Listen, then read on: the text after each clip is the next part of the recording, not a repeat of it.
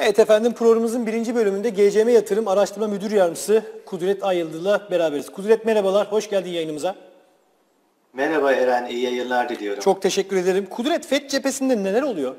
Yani e, piyasalara şöyle ben baktığımda e, FED'e ilişkin çok şahin beklentiler var. Hepimiz takip ediyoruz. Sen de çok iyi bir şekilde biliyorsun ama bu şahin beklentilerin hani bir miktar güvercin demeyelim. Çünkü e, güvercin çok daha farklı bir e, anlam ifade ediyor ama bu şahin beklentilerin bir miktar yumuşadığını görüyorum. Mesela Kasım ayında 75 bas puanlık faiz arttırımı daha bir hafta öncesinde %37 hatta %27 oranında bir olasılık vardı. Bugün gelmiş olduğumuz noktada %50'lere yaklaşmış durumda. Yani 50 bas puanlık faiz arttırımı acaba yapılabilir mi tarzında artık piyasa katılımcıların aklında bir soru işareti de var. Yani 75 kesin değil diyor piyasa. Neden böyle bir durum var sence? Birleşmiş Milletler'in ve e, IMF'nin yapmış olduğu yorumlar sebebiyle mi? Nasıl değerlendiriyorsun? Aslında genel çerçevede FED toplantısıyla birlikte belli başlı noktalarda aslında piyasa en fikir olmuştu ama ondan sonra hem global gelişmeler hem de Amerika'nın kendi iş dinamiklerine baktığımız zamandaki gelen veri setleri e, bu noktada biraz daha ister istemez e, mevcut tonunun yumuşatma senaryosu üzerinde fiyatlama reaksiyonu oluşturmasına imkan tanıdı. Sen de biraz önce bahsettiğin gibi baktığımız zaman e, Kasım toplantısındaki 75 bas puan faiz artışı ihtimali şu anda %60'lar civarlarında. 50 bas puanlık faiz artışı ihtimali de %40'lara yükselmiş durumda. Yani baktığımız zaman orada oranlamalarda biraz değişkenlikler var. Tabi Amerika kendi iş dinamiklerine baktığımızda mesela dün ISM imalat PMI e, verisi 2020 Mayıs'tan bu yana en kötü performansı sergiledi. Amerikan 10 yıllıklarda 4 altında biraz daha kalıcılık izlendi. 3.50'nin altına sarkacak mıyız? Bunu inceleyeceğiz. Dolar endeksi keza bu şekilde bir reaksiyon verdi. İş tabii hani e, dolar bizim paramız ama sizin sorunuz hesabı. Yani buradaki mevcut e, makro konjöktür sadece Amerika'yı bağlamıyor. Diğer e, önemli ülkeleri de bağlıyor ve bu anlamda da ister istemez Orada da e, bir miktar e, FED'e ilişkin beklentilerde şekillenmeler de var. Senin de biraz önce bahsettiğin gibi kurumların işte siz daha bu şekilde agresif faiz tonlamasına devam ederseniz otomatik olarak işin resesyon konusunu çok daha e, net bir şekilde dile getirmiş oluruz. Bu da ülkeler arasındaki ekonomik aktivitesini bozar şeklinde mesajlar veriyor. Yani buna baktığımız zaman da ister istemez piyasa beklentilerinde biraz yumuşama söz konusu. Ama yeni dönemde gelecek veriler tam tersini çağrıştırırsa o zaman bu yumuşalamaların sonlanabileceğini ve tekrar agresif bir tona bürünebileceğini söyleyebiliriz. İşte bu anlamda e, Cuma günkü istihdam verileri gerçekten önemli olacaktır diyebilirim. Kudret şunu soracağım. Şimdi Birleşmiş Milletler e, net bir şekilde merkez bankalarına faiz artışını durdurma çağrısı yaptı.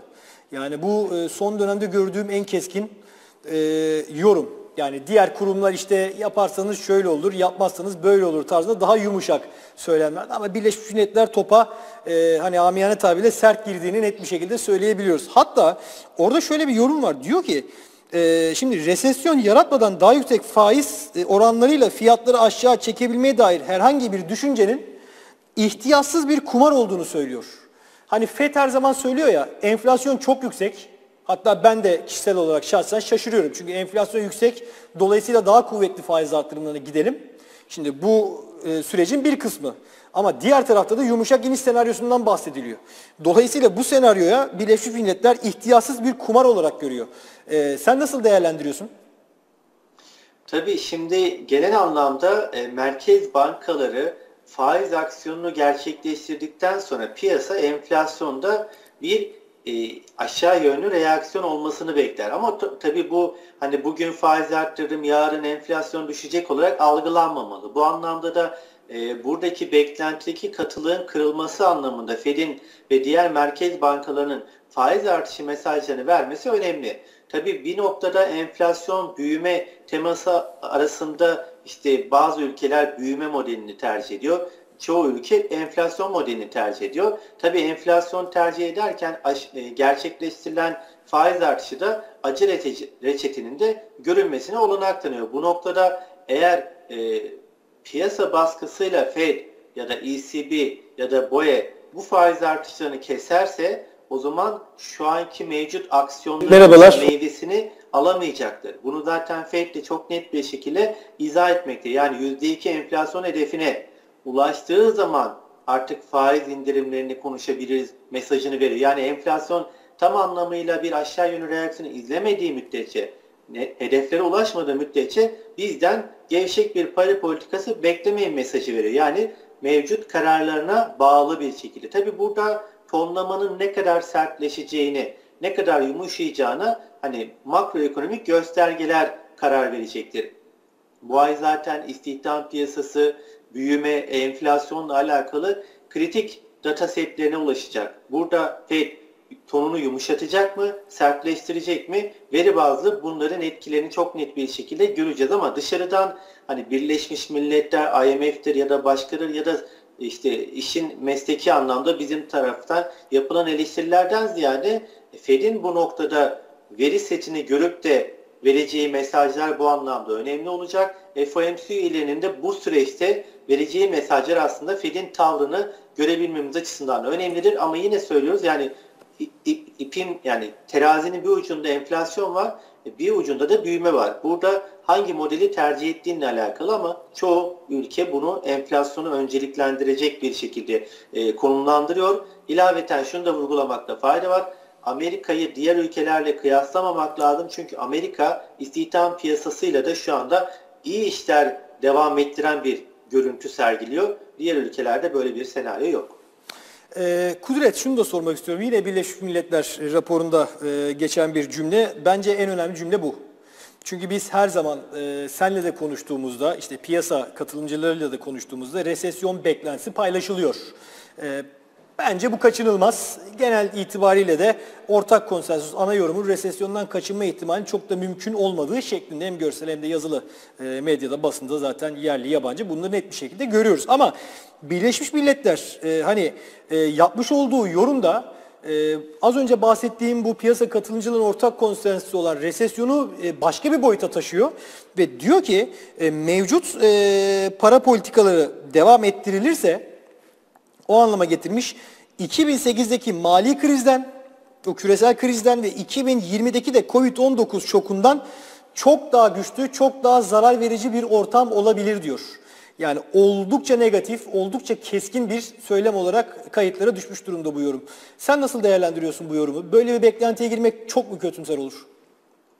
Bence çok kötümser olur. Çünkü yani FED bize aslında yeni dönemin yol haritasını paylaştı. Yani e, biz bu sene %4 4,5 arasında bir faiz tam net değil çünkü 4.4 FOMC beklentisi seneye de 4.6 yani buradan şu şuradan yola çıkabiliriz bu sene yapacağını yapacak zaten son toplantılarda. Hani belki 2023 yılında 25 bas puan bir faiz artış yapacak. Onun dışında faiz zaten artırmayacak.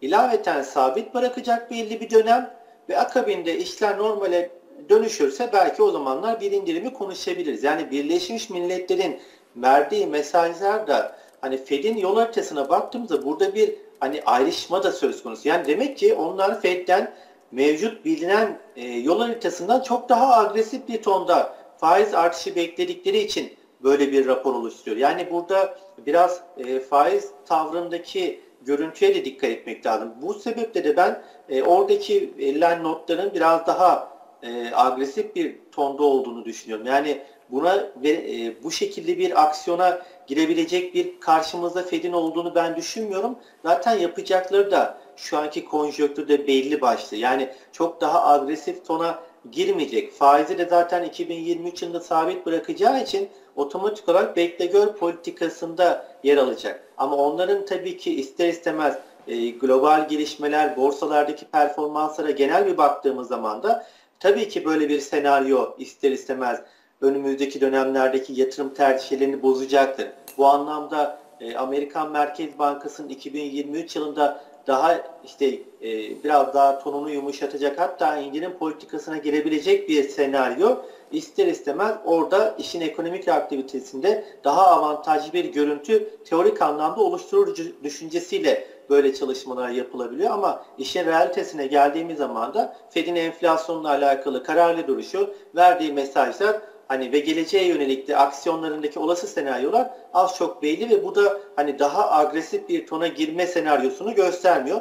Bu anlamda da e, bu noktada biraz daha raporun daha agresif yani daha karamsar olduğunu söyleyebilirim. Kudret değerli yorumlar için çok teşekkür ederim.